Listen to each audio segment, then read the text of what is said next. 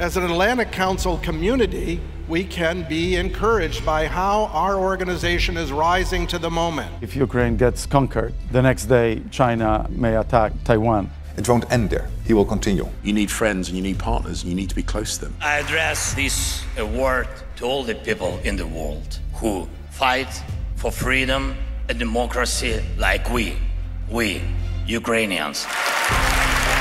Welcome to the Atlantic Council live from the IMF World Bank meetings in Marrakesh. The COP28, first of all, begins with us now. Extreme heat has to be viewed as one of the most dangerous results of the changing climate. Science clearly tells us that it's emissions, it's the way we burn fossil fuels. The world is facing the worst hunger crisis since World War II.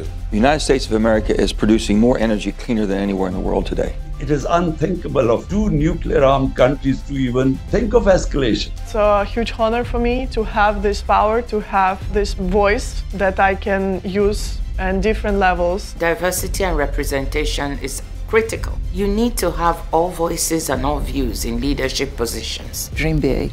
And if your dreams aren't big enough to scare you, they're not big enough. Welcome to the 2023 Atlantic Council Global Citizen Awards. And that's smart in 60 seconds. This is the topic we'll tackle today in So What's the Strategy? You see LGBTQI protections progressing not only through legislative measures and regulation. The recent meeting between Russian President Vladimir Putin and North Korean leader Kim Jong un. Most of the artificial intelligence we have invented so far is highly specialized. TikTok can pose a genuine national security threat, and also the conversation that we're having isn't focused on the right issues. The population of Gaza cannot leave. Many Israelis are viewing it as their 9 11 or their Pearl Harbor. The United States and several other NATO allies and partners are going to step up today. We are resolute in our commitment to this generational fight for freedom that the Atlantic Council has defended for more than 60 years.